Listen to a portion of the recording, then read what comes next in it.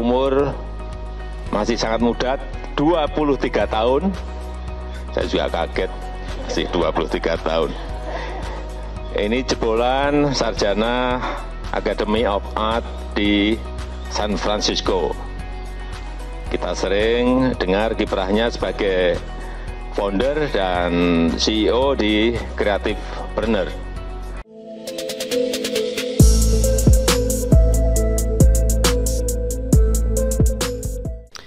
Assalamualaikum warahmatullahi wabarakatuh. Teman-teman berjumpa kembali dengan NJ Channel. Pada video kali ini saya akan membahas tentang berita viral hari ini. Ada dua berita yang akan kami sampaikan hari ini. Pertama, gaji honorer 300 ribu Gaji pengangguran 7 juta. Di manakah keadilan? Dua, tidak kerja full time, staf khusus Jokowi dapat gaji 51 juta rupiah Itulah teman-teman dua berita yang akan kami sajikan. Tapi sebelum lanjut silahkan teman-teman tekan tombol subscribe dan tanda lonceng notifikasi agar tidak ketinggalan video-video terbaru dari kami.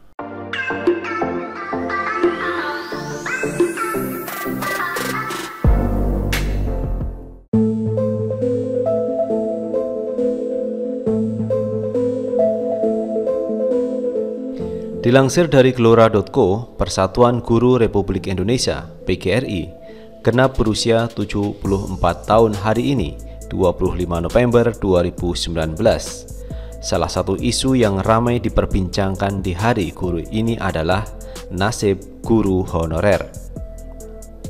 Selama ini, kesejahteraan guru honorer masih sangat minim Gaji guru honorer hanya rata-rata 300 sampai 700 ribu per bulan. Di saat guru honorer menuntut kesejahteraan, pemerintah justru menggaji pengangguran 3 sampai 7 juta per kepala pada 2020 mendatang. Mantan Ketua BB PGRI Didi Supriyadi mengatakan, saat ini yang harus diperjuangkan PGRI adalah soal kesejahteraan guru honorer.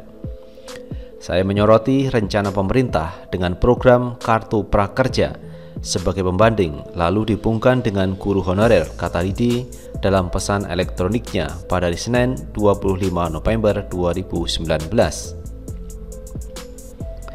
Guru honorer adalah orang yang bekerja mengajar mendidik di sekolah negeri. Minimal sudah mengajar satu tahun dengan honor 300 sampai 500 ribu per bulan. Honor itu dibayar setiap tiga bulan, anggarannya dari dana bantuan operasional sekolah atau BOS.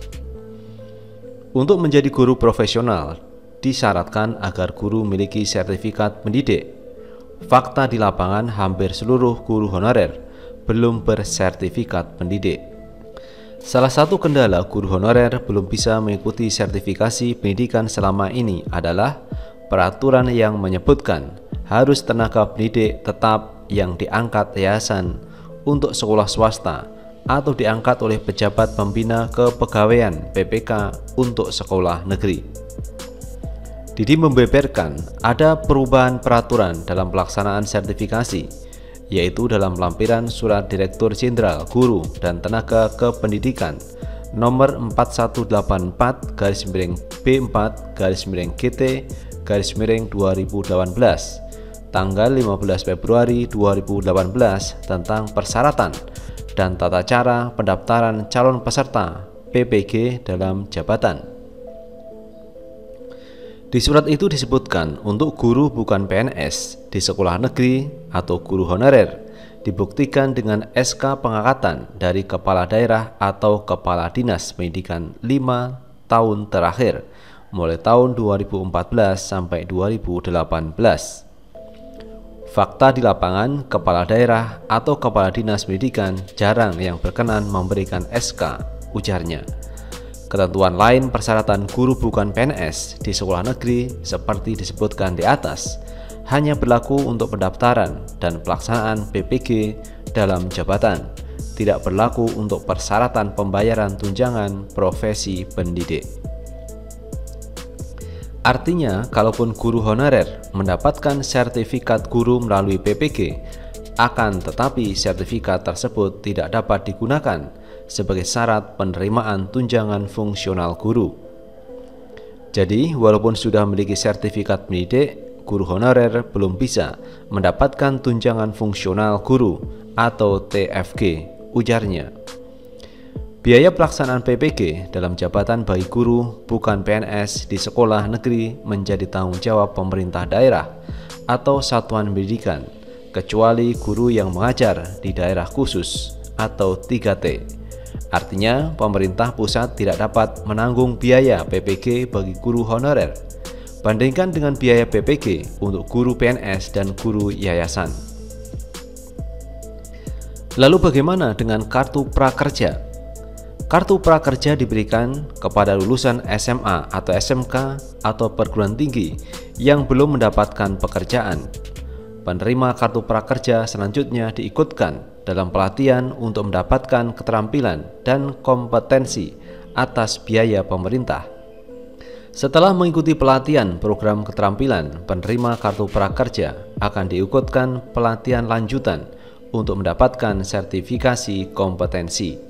Sebelum penerima kartu prakerja mendapatkan pekerjaan, pemerintah melalui dana APBN akan memberikan insentif sebesar 500.000 per bulan. Pemerintah pusat telah menganggarkan 10 triliun dalam APBN 2020 untuk alokasi 2 juta penerima kartu prakerja. Tata cara mendapatkan kartu prakerja adalah sebagai berikut. Pertama, peserta mendaftar secara online melalui kemanaker.or.id sebagai calon peserta program penerima kartu prakerja.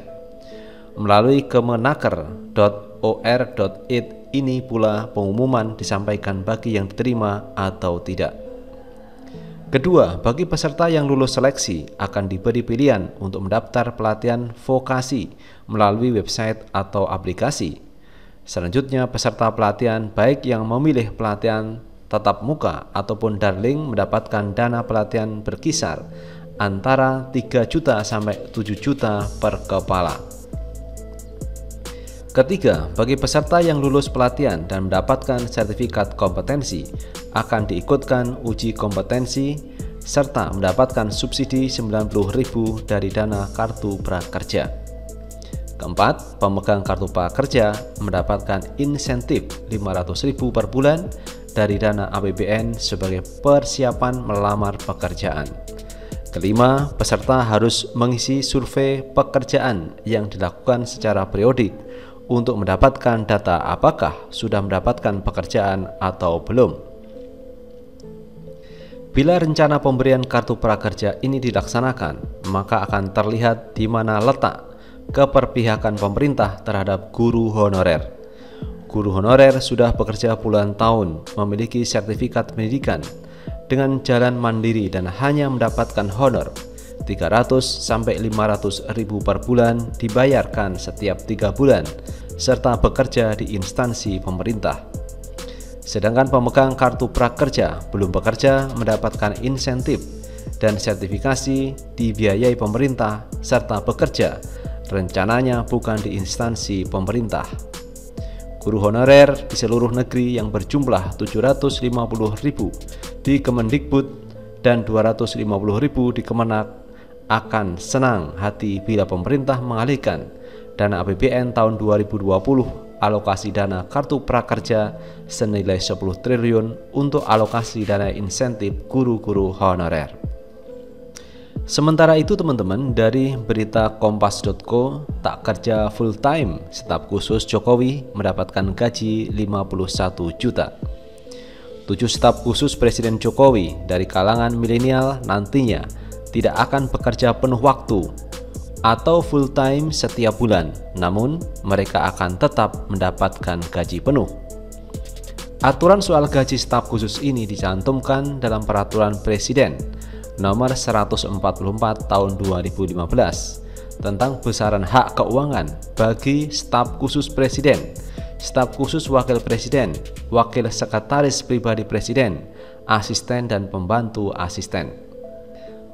Berdasarkan belait yang diterbitkan Jokowi pada 2015 itu, gaji staf khusus presiden sebesar 51 juta Gaji itu merupakan pendapatan keseluruhan dan sudah termasuk gaji pokok, tunjangan kinerja dan tunjangan pajak penghasilan. Juru bicara Presiden yang juga staf khusus bidang komunikasi, Fajur Rahman, membenarkan bahwa staf khusus dari kalangan milenial digaji berdasarkan Perpres 144 garis miring 2015. Ya, kan mereka bekerja satu kali 24 jam, kata Fajur di Istana Kepresidenan. Sebelumnya, Presiden Jokowi menyebutkan para staf khusus milenial tersebut tidak bekerja full time di istana. Adapun staf khusus dari kalangan milenial itu ialah Putri Indah Sari Tanjung, CEO dan founder Creative Preneur. Kemudian Adam Belva Sah Devara, pendiri Ruang Guru, dan Ayu Kartika Dewi, perumus gerakan Sabang Merauke. Kemudian Angki Yudhistia, pendiri Disable Enterprise di Fabel Tunarungu. Gracia Billy Yosapat Membrasar, CEO Kitong Bisa, peraih beasiswa kuliah di Oxford. Dan Aminuddin Ma'ruf, mantan ketua Pergerakan Mahasiswa Islam Indonesia. Selain itu, Andri Taufan Garuda Putra, pendiri Lembaga Keuangan Amarta. Presiden Jokowi sudah memperkenalkan mereka di teras Istana Merdeka pada Kamis 21 November 2019. Presiden Jokowi meyakini ketujuh anak muda yang ditunjukkan sebagai staf khusus itu bisa menjadi teman diskusi untuk memberikan gagasan-gagasan segar dan inovatif. Namun Jokowi menyebut para staf khusus milenial ini tidak perlu bekerja penuh waktu atau full time di istana Jokowi paham kebanyakan dari mereka adalah para pengusaha muda yang kini masih memimpin perusahaan masing-masing. Selain itu ada juga yang masih berniat melanjutkan kuliah. Tidak full time karena beliau-beliau sudah memiliki kegiatan dan pekerjaan, kata Jokowi. Oleh karena itu Jokowi tak mempermasalahkan jika mereka tak datang berkantor di istana setiap hari.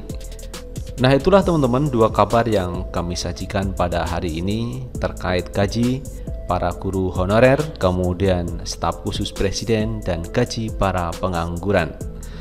Kami hanya mengabarkan dan teman-teman yang menilainya. Dan terakhir, jangan lupa untuk tetap like, subscribe, dan komen di channel ini agar kita bisa membangun channel ini menjadi lebih baik lagi. Sukses selalu. Assalamualaikum warahmatullahi wabarakatuh.